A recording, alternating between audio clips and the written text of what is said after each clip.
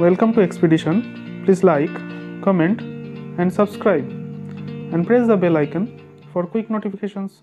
Thank you. so this is our problem.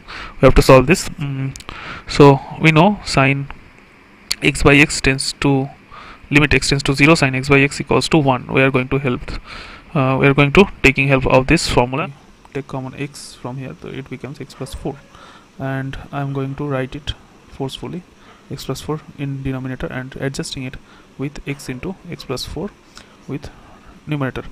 And it remains same. Okay now I'm breaking limit in two part.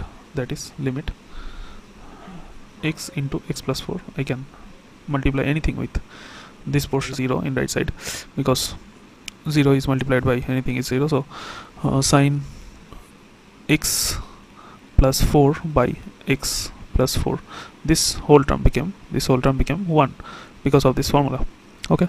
And limit is separated from this and it became x plus 4 and if I take x from this expression this function and we get x square minus 5x plus 2 and easily we can cut x here. The expression became 1 into limit x tends to 0 x plus 4 by x square minus 5x plus 2 so if I put the limit here x equals to 0 in this particular term so it becomes 0 plus 4 by 0 minus 5 into 0 plus 2 so this became 4 by 2 that is 2 this is our answer.